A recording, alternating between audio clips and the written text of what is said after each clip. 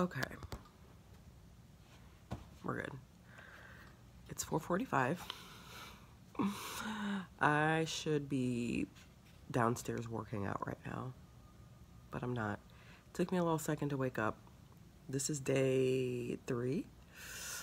The 27th, November 27th. We came in well, I came on the 24th, but and class didn't really officially start till yesterday, but we had a orientation slash human resources day, the 25th. Anyways, this doesn't matter. Um, so we definitely get a lot of work each day. And I realize that right now it's an advantage that we get quote unquote four days off tomorrow. Tomorrow's Thanksgiving, Thursday, Friday, Saturday, Sunday, we get those days off, okay? I have to catch up because each day that we're learning, I can't, it's like I'm not able to take it in because it's like I have so much reading. And in class, I mean, I'm taking in some things, but there were parts of the day yesterday I faded in and out. And I know a lot of that had to do with um, what I ate. I messed up. I thought I wanted to, because we get breakfast and dinner here at the hotel, the hotel provides it. And um, I thought, okay, I'm just gonna eat that and fast the middle of the day. Because also that helps with my budgeting too. I wasn't able to do it. I, I think that I need to throw that a little out the window and just eat breakfast, lunch, and dinner and just kind of like throw some things together for now, maybe even today. But yesterday I I ended up spending like probably 15, 16, 18, almost $20 on lunch. Was a food truck. I went back for seconds. And then I bought so much candy, you know, and I was all happy and energetic while I was eating. And then got back to class, and I don't know why he taught what he taught at that time. But I don't know, it just, it drained me.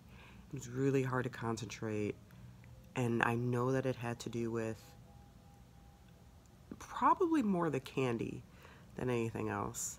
And then after that, I just, I had to keep having sugar. I messed up.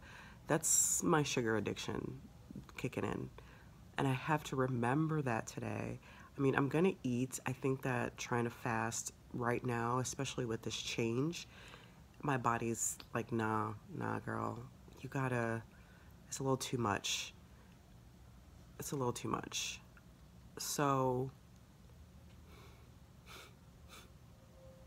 and I wasn't real disciplined with that before. I mean, I was disciplined with the fasting because it, it's always easier for me to fast when I'm not home. And I thought, oh, I'm gonna like really not. I'm gonna really do a good job with it. And yeah, no, it's actually like worse. God.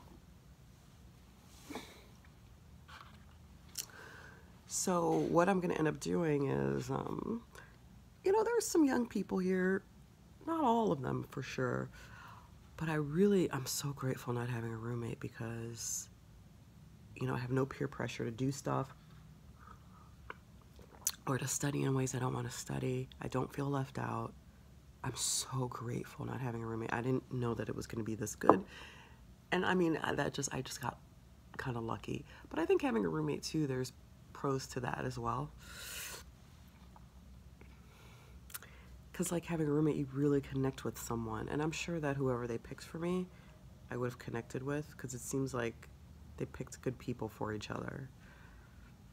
But they could they could put me with somebody because I found out last night that there's a girl that doesn't have a roommate. So I was like, uh-oh. You know, and we have to be open to like change you know, I'd make it work, obviously, but I couldn't do these videos like this. Okay, at the very latest, I have to go down by 5, because I can work out for like 15 minutes. Mm -hmm. Oh, now I realize how much I love Orange Theory. Like, I, not that I can't ever work out on my own. I'm, I'm learning, figuring it out. So, I don't know how that crash pad thing is going to work out. Now that I'm thinking more about it, did not like that idea. I would rather I don't know, and I want to budget too, so my skin looks pretty good. It's a little oily right now. I put that on, I did that on purpose. So yeah, what I'm gonna end up doing is today I'm just gonna bring some food to eat and I'm gonna eat that. And um, just a little something. It doesn't have to be much. And I'm gonna use that time during my lunch to like continue studying and doing my homework.